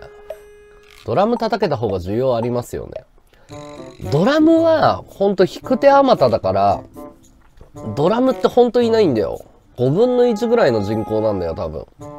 だから、本当に、ドラムで本当にある程度のジャンル叩けるようになると、ほんと引っ張りだこ。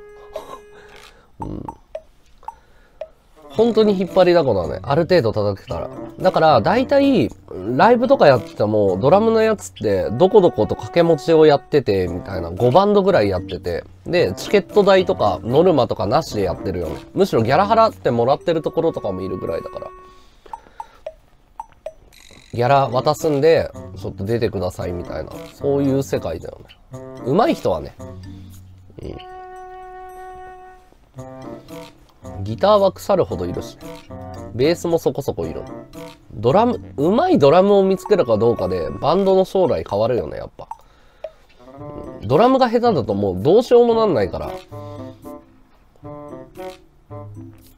絶対数が少ないね。っていうのもね、練習できる場所が少ないんだよ。ドラマーって。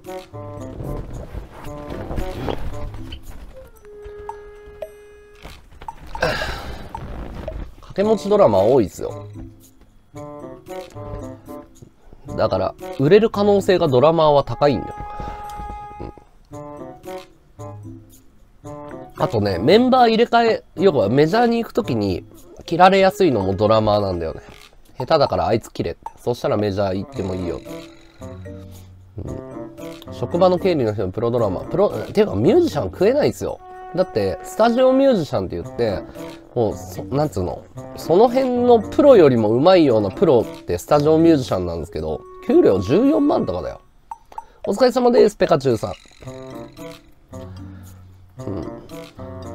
プロでやっていくのも大変なぐらい。もうバイトしないと無理みたいな。音楽で食ってくっていうのはほんとシビアだよ。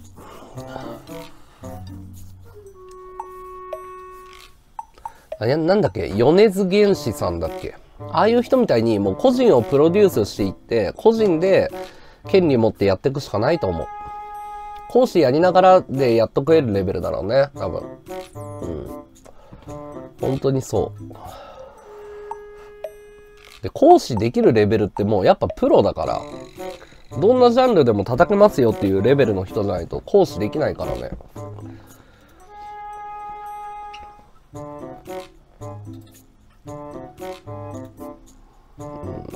だから今の時代、ある程度スキルあったら、自分でプロデュースして名を売る方を考えた方がいいと思うけど、ミュージシャンってそういうの苦手なんだよね、結構。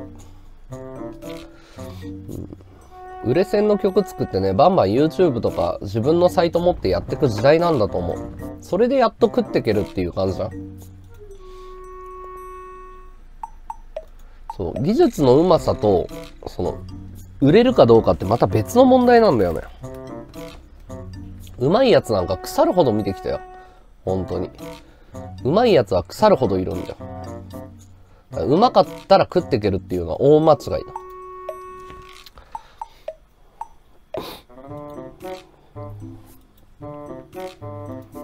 ジャズの方はギャラが出るからいい。いや、どうだろうね。うん。どうなんだろうな。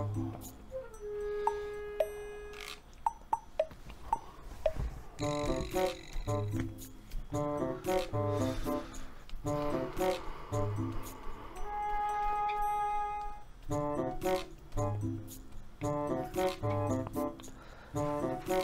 っとお茶取ってくるわ。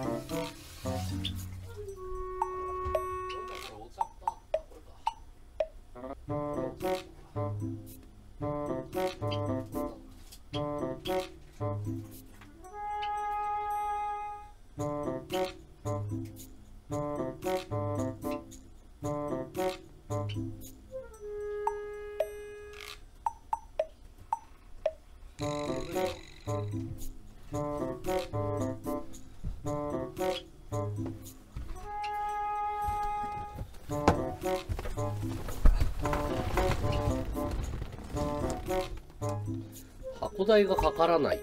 ああ、ジャズバーとかか。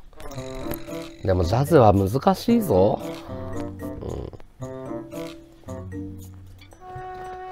うん。ま、まずね、バンドマンから搾取しないといけないライブハウスの構造に俺は意を唱えたかったね。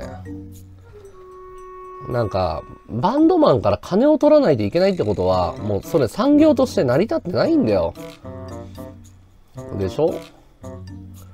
要は、うまいやつがいけるんじゃなくて、集客力のあるやつを食い物にしてるわけじゃん。だから俺はそこを変えたかったけどね。ライブハウス業界やってて。かわいそうっていうか。だから、あの、ちゃんとレギュラーでやってくれんだったらタダで出すっていう条件。一週間に一回必ずやってねっていう。必ずプロになってねっていうことを言ってたね。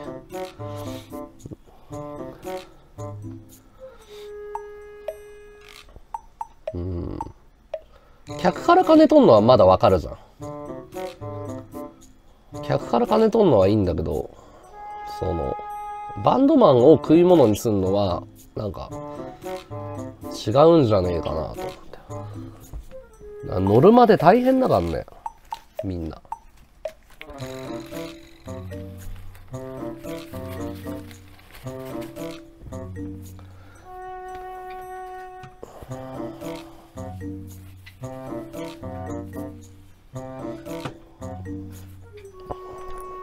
そうしないと食っていけないっていう現状もあるから何とも言えないんだろうけど。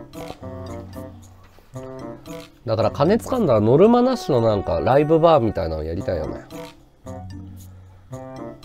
ノルマなしの。なんかそのバンドに限らず表現者バーみたいなのを作りたいよね。もう本当に生主でラジオやってもいいしなんか漫才師が漫才やってもいいしみたいな。とにかくそのギャラもちゃんと出すっていう。そう、ギャラを上げるっていう。そうただ、そのノルマはないよっていう。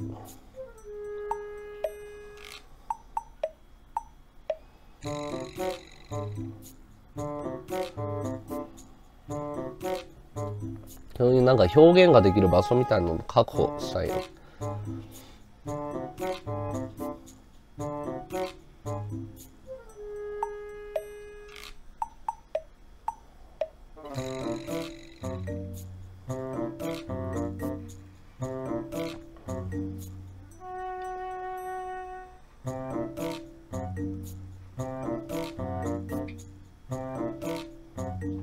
ゲットーズがやってた投げ銭が一番いい。いやいやいや、投げ銭はやっぱストリートだけでしょ。無理があるでしょ。うんうん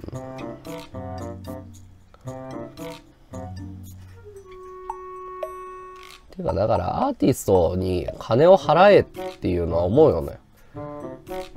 これだけど、これ本当に思うけど、別にタダで見ていいんだよ、配信も。ただ、配信をタダで見て文句言うやつは泥棒だと思ってるよ、俺。マジで。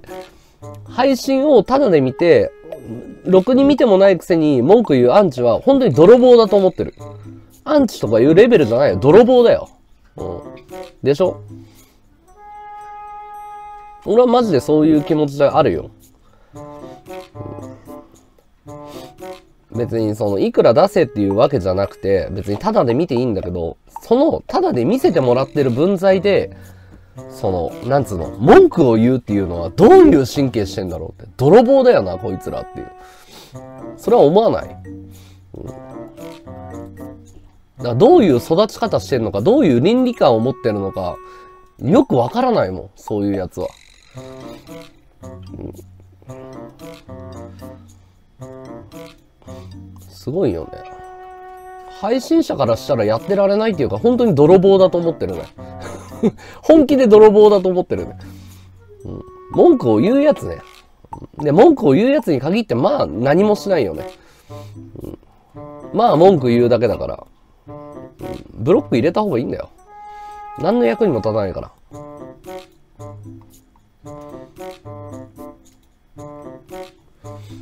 まあ配信者じゃなくて表現者からしたらそうでしょう。うん。しかもさ、その、自分から見てくださいってお願いしてるんだったらわかるんだよ。その文句言われても仕方ないっていうか、自分から誘ったなら。そうじゃなくてさ、例えば自分が個展を開いてます。で、無料で見れますよっていう風に看板に書いてあると。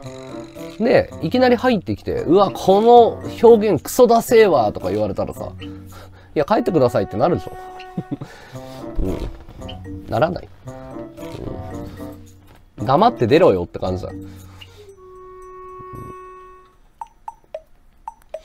それは思うけどな。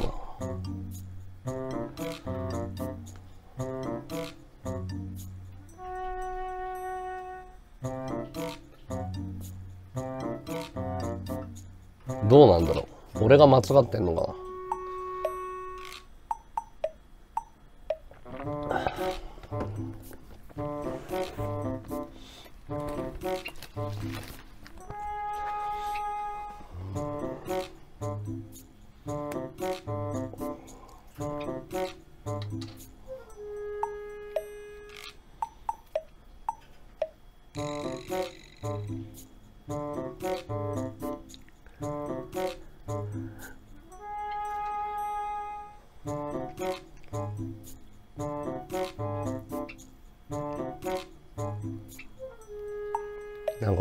チャンネラーの中にすごいやつって一人もいないと思ってるんだよね。これマジな話で。あの、ひがみとかそういうんで言ってるんじゃなくて、2チャンネルを見てるやつにろくなやつがいないと思ってる。いや、うーん、匿名じゃないっていうか、匿名だったらじゃあそれをやるっていうことはさ、だから、システムの問題ではないと思ってて、そういう人間っていうのはろくでもないと思ってるの。そういう人間は。だったら匿名だったら書けるってことは匿名じゃなきゃ書けないってことだ。要は人間の生き方としての問題なんだよ、それ。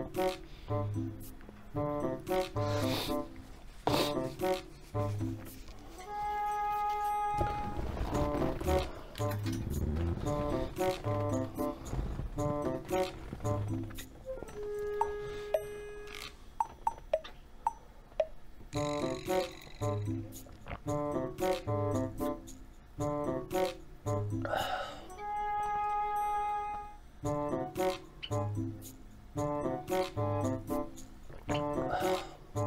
ゲーセン行きてえな。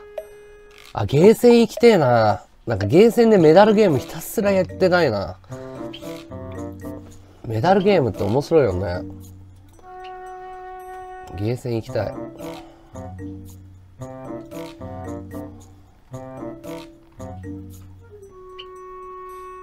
千葉のあそこじゃないね。印西の、印西に安いゲーセンあるんだよ。ずーっと遊んでられるよ。一日中。すごい安いんだよ。100枚、1000、ん ?100 枚いくらとかなんだっけな。で、競馬のゲームすごいやつがあるんだけど、うん、競馬ゲームずっとやれるんだよね。しかもガラガラだから面白いんだよね。ソファー席みたいなすごいやつあるじゃん。今なんかテレビ画面がバーンってあって。うん。のんたんに印西連れてってもらおうかな。ビッグホップだ。そうそうそう。印西のビッグホップっていうところ。ビッグホップのゲーセン、うん、の馬があるんだけど、そこすげえ面白い。うん、あ、どうもどうも、はるさん。どうも。なんとか恥ずかしながら、ちょっと黒歴史なんですけど、自分タイムシフト見れないですね、正直。あの、動画化もちょっと嫌だなと思ってるぐらい、ちょっと恥ずかしい黒歴史ですね。なんとかクリアしました。あありがとうございます、はるさん。メダルゲーム面白いよね。なんか今気分としてはもう何にも考えないでポケーっと今日過ごしたい。ポケーっと、うん。何にも考えないでいい。うん、本当は今日さ、のんたんディズニーランドに連れて行く約束したんだけど、もう歩けないの確定したから ごめんのんたんっつって月末にしようっつって、今日無理だわっつって、歩けねえわこんなディズニーランド、ディズニーランドで歩けーとかいう、もう恥ずかしいでしょ。動け俺の足とか叫んでることになるから。おいおい、やべえな、つって。あいつどんなアトラクションよりもはしゃいでるわ。違うんだよ。カメラぶっ壊れちゃったんだよ。ウェブカメラがぶっ壊れちゃったの、これ。だから、画質悪いでしょ。参ったよ。結露かなんかでやられたのかな ?USB が全く認識しなくなっちゃったんだよね。参ったよ。うん、ちなみにこれ2代目のウェブカメだから、もう3代目入るよ。3代目。そう、配信ってタダでできると思ってる人いるけどね、結構金かかるからね。断線なのかな？なんか途中で、こうやってカメラをガチャって持って、景色とかやるときに何回か落ちてたの。あれ？とか思って、断線かな？とか思ったんだけど、なんか、ちょっと違うんだよね、様子が。で、家に帰って何回か試してるんだけど、やっぱりね、つかないんだよね。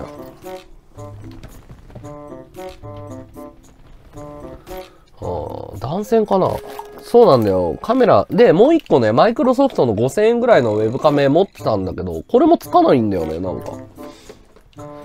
だウェブカメラがね、死んだんだよ。参ったよ。とやってみるか。多分ダメだと思うんだよな。ロジクール品薄ではないよ。高いの。1万7000円ぐらいするの。で、バッテリーも一発もう使えなくなったかな。だからね、あの、本当のこと言うと、あれなんだよ。ギター買おうとかおかしいんだよ。ウェブカメ買ったり、バッテリー買ったり、旅配信に向けていろいろ揃えないといけないんだよね。そんなこと言ってる場合じゃないんだよ。ウェブカメ。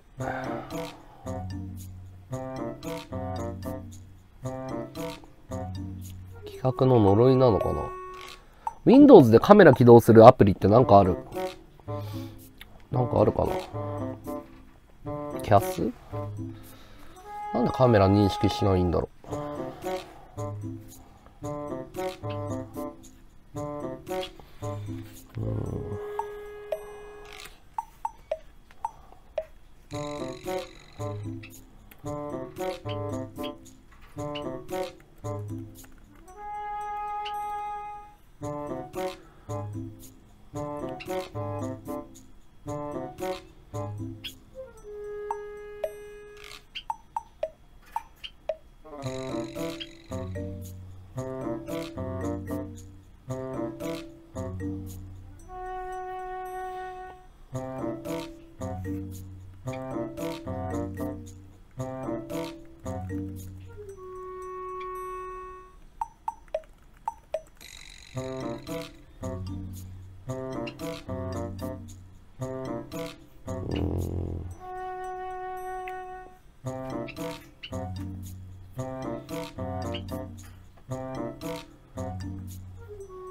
ダメだね。やっぱカメラ認識しないね。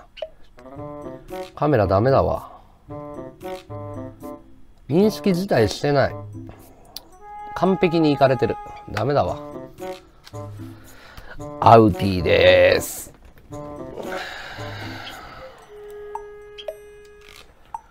うん、参ったな。ハチありがとう。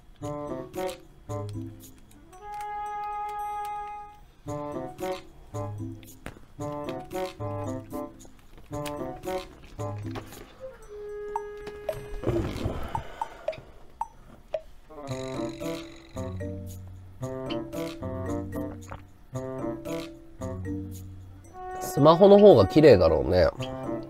うん。スマホの方が綺麗でしょ。いや、あれだよ。こっちの内蔵カメラだったらまだマシになるんだよ。こっちで配信する？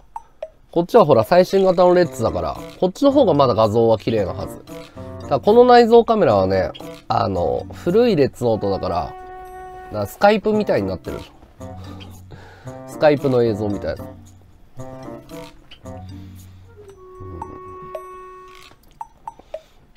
質は非常によろしくないですよね。まあ、ロジクールのカメラはどっちでしょうもう商売道具みたいなもんだから絶対買わないといけないレベルだね。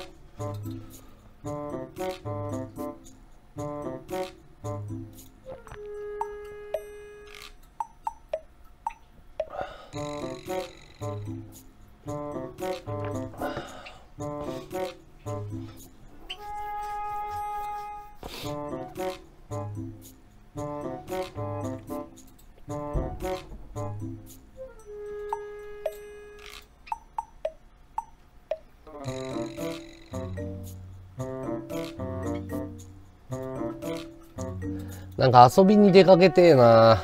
もうなんか燃え尽き症候群なんだよ。ごめんね。今日の配信なんかグダグダっぽいでしょもうね、なんかね、脳内麻薬を久々にフル解放しちゃったから、あの、なんつうの、なんかやる気がないわけじゃなくて、なんか刺激が薄いんだよ。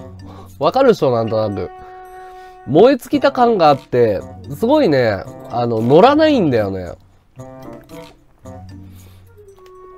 なんかね、こう、ブワーってなんか、なんかやると燃え尽きるね。刺激ジャンキーだからさ。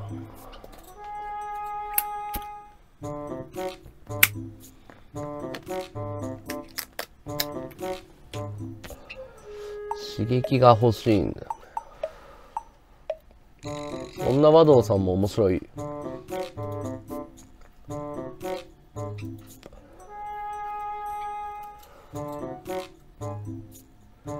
企画中トークがノリノリでしたもんね。違うんだよね。もう脳内麻薬が出てんのが明らかにわかるんだよ、自分で。久々、その、俺ほら麻薬嫌いって言うじゃん。お酒も嫌いなのも同じ理由なんだけど、あの、意識を酩酊させるのがあんま好きじゃないんだよ。あ、またおさんどうも。なんかそうじゃなくて、そう、もう、何？よくマリファナをやると、飯がうまくなるとか言うじゃん。そうじゃなくて、体にあるんだよって。あの、脳内麻薬、あのね、ドラッグってみんな勘違いしてるけど、ドラッグの主成分が脳をとろけさせると思ってるけど、違くて、脳がもともと持ってるもののレセプターって言ってさ、要は、反物質っていうのが出るんだけど、脳内麻薬が出ると、脳内麻薬を抑える物質っていうのが必ず出るの。そのリミッターを解除するのが麻薬って言われてるものなのよ。だから、禅とか、ああいう苦行みたいなことをやると脳内麻薬って出るんですよ。だから、ドラッグっていらないよっていうのはそこなのよ。あの、自分の体を追い込んだりとか、何かを夢中でやると脳内麻薬って出るようにできてんの。あの、体の不思議で。ランナーズハイとかそうじゃん。だから、なんか、そういうの嫌いなのね、その。要は、チートが嫌いなんだよ。攻略本嫌いなんだよ。だから、麻薬が倫理的にダメとかじゃなくて、もともと持っててそれを引き出せばいいじゃんって考え方なんだよね。うん。その方が人生面白いと思ってるから。働いた後の高揚感とかもそれ、そういうもんだと思うよ。要は苦しみが続くと、それを快楽に変える物質って必ず出るから。うん。だその、うまくできてるんだよね。だから、その麻薬とかやると、要は人生めちゃくちゃになったりするんだよ。要はバランスが崩れるわけじゃん。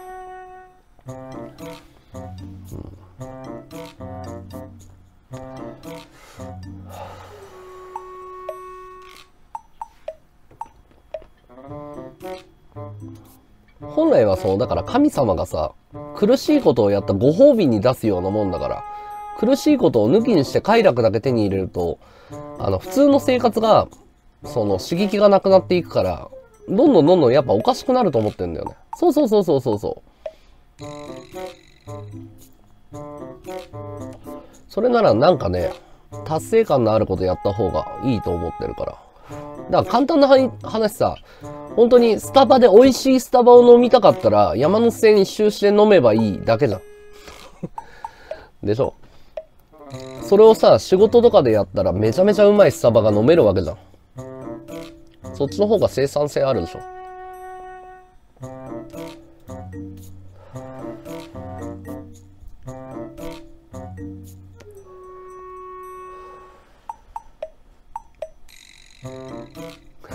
これ面白いね。山手線の企画のさ、やっぱ8個ぐらいさ、画像あるけどさ、最初の頃笑顔なんだけどさ、スタートの画面どんどん顔が曇ってくな。どんどん顔が曇ってて、もうこんなになってるの、最後の方。もうやだみたいな顔になってる。もうやめたいって顔してるよね。目が険しいな、後半。サムネがね、面白いね。もうずっとしかめっ面になってくっていう。う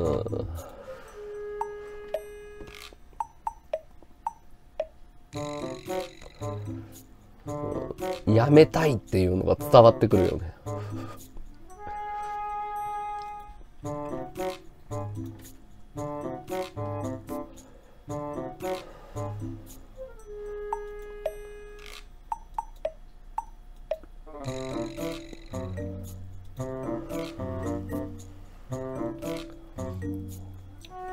神回かどうか、神回だとは思わないけど、やってよかったなとは思うよ、でも。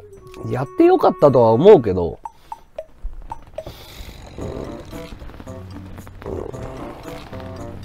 政権好きの方がきつかったかな。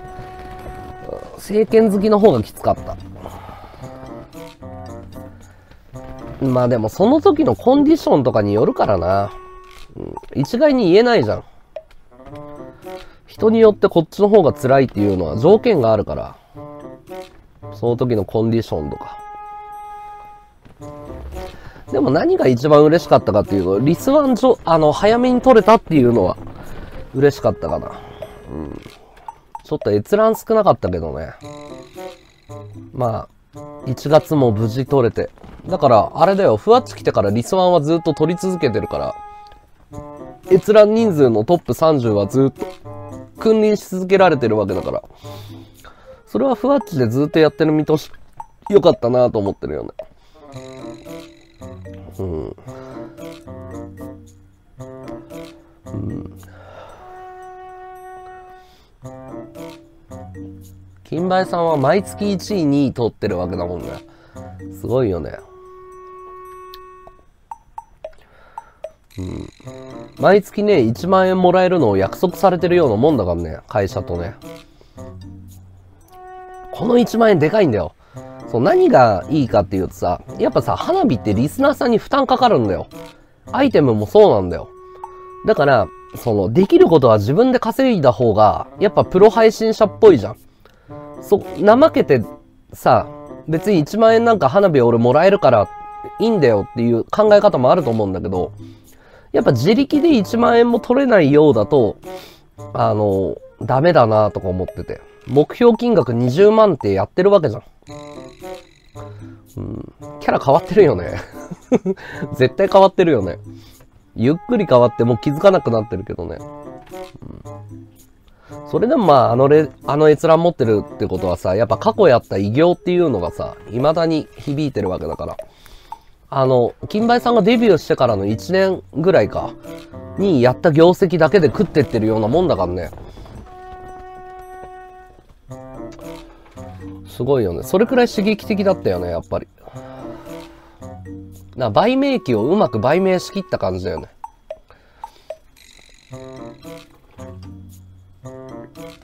突き抜けてるっていうか。ただ、まあなんか、みどりさんとか、金梅さんをちょっと格下に見てる節がどうしてもあるよね。うん。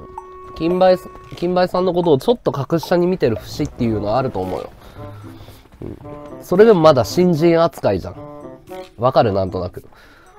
みどりさんのそういうなんか、プレッシャーのかけ方はいいプレッシャーのかけ方するよね。うん、俺はみど、横山みどりだぞっていうさ。風格を出してくるよね。めちゃくちゃだよね、本当に暗黒ね。俺でも去年の福袋の回好きだったから、ちょっと、年頭福袋見なかったのはちょっとなぁと思って。福袋は開くじゃん、毎年。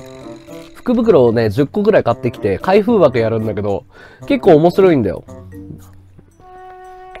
それ見なくなっちゃったもんな。なんかその、やっぱキャリアがあるとさ、恒例の企画みたいなのを持ってるのはいいよね。うん、ああ、もうこのシーズンが来たか、みたいな。ガキツカの笑っちゃいけないシリーズみたいになんかあるんだよね。なんか自分の企画持ってるのはいいよな。盛り上がる企画を。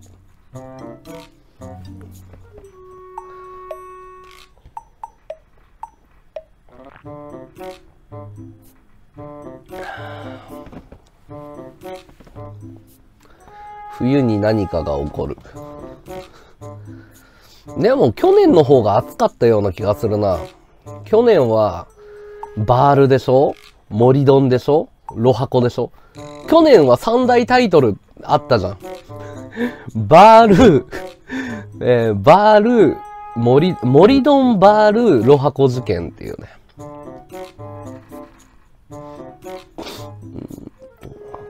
あれは面白かったよね。祭りだったもんね。うん、山野選手恒例にはできないね。ロハコ事件のメンツはすごかったよね。もっと引っ張りたかったよね。もっと引っ張りたかったよね。鮫島さんとさ、みどりさんが同じ画面にいるっていうのがちょっと面白いもんね。うん。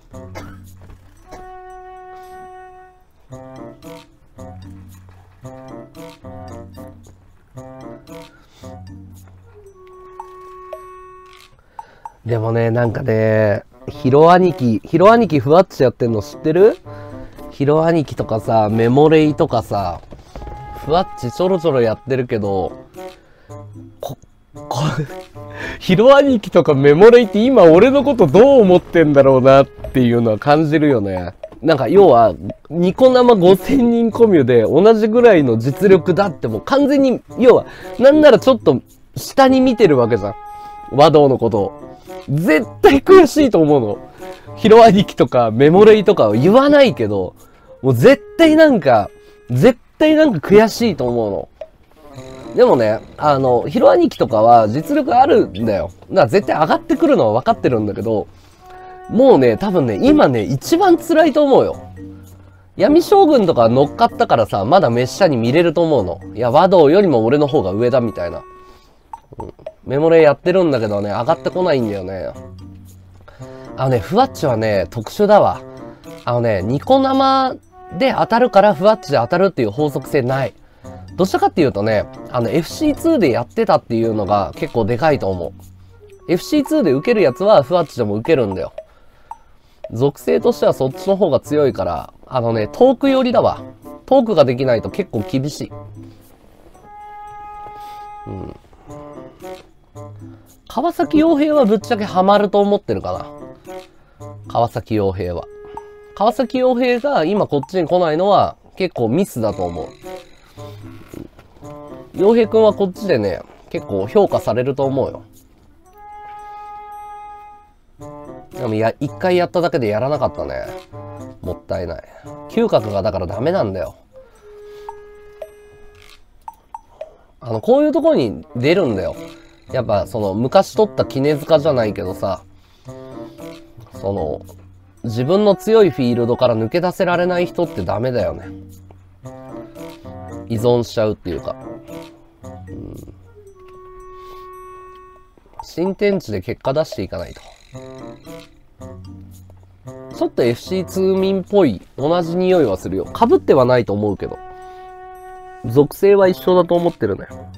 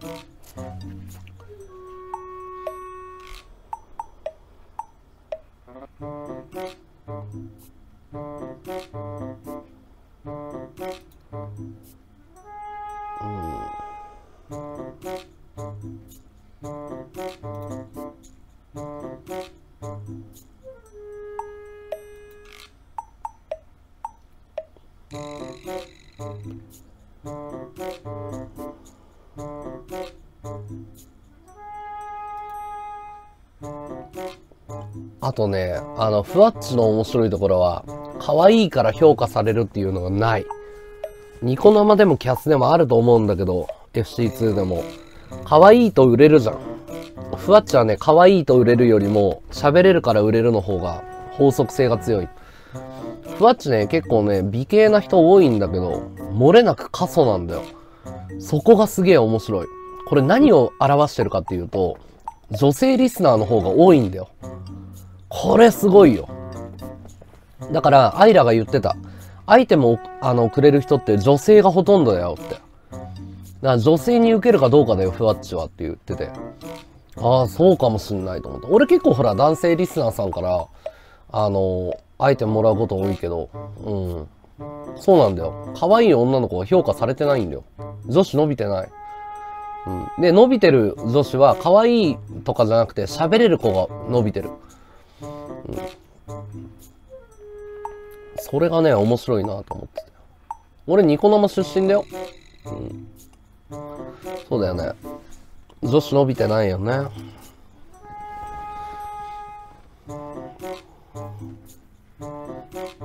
俺はニコ生系だね。は、あ、風船10個ありがとう。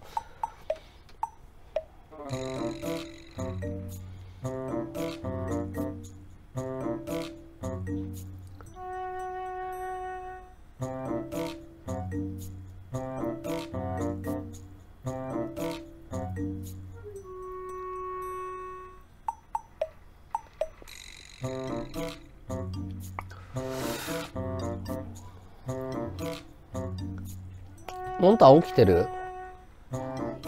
遊び行かない？ハートプレゼントありがとう。最近のセクシンゴ、全一パン粉に一言。かぶってないかな特にないっすよ。実力ありますからね、セクシンゴ。うん。特にないっすよ。普通にファンですね、僕。ハートプレゼントありがとう。のんと遊び行かない？なんかどっかプラッと。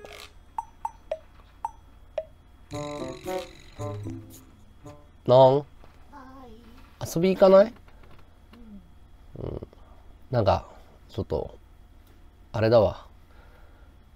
ちょっと配信のことを忘れて、あれだわ。なんとなく、携帯の電源をフリーだわ。うん。そう、プライベートを充実させないと。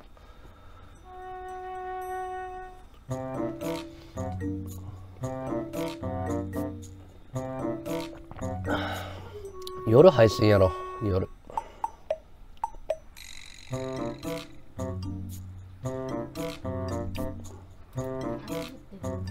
雨？雨、見てみるね、あいや晴れてるね。ちょうどやんだ感じ。そうだね。彼女とデートしたいかな、うん、配信抜きでね。じゃあ、お疲れ様です。お疲れ。行ってきます。おつおつ。お前コメント欄荒らすなよ。バカとかハゲとか書くなよ。なんでお前動画の内容も見ねえでお前バッドボタン押してんだよもう。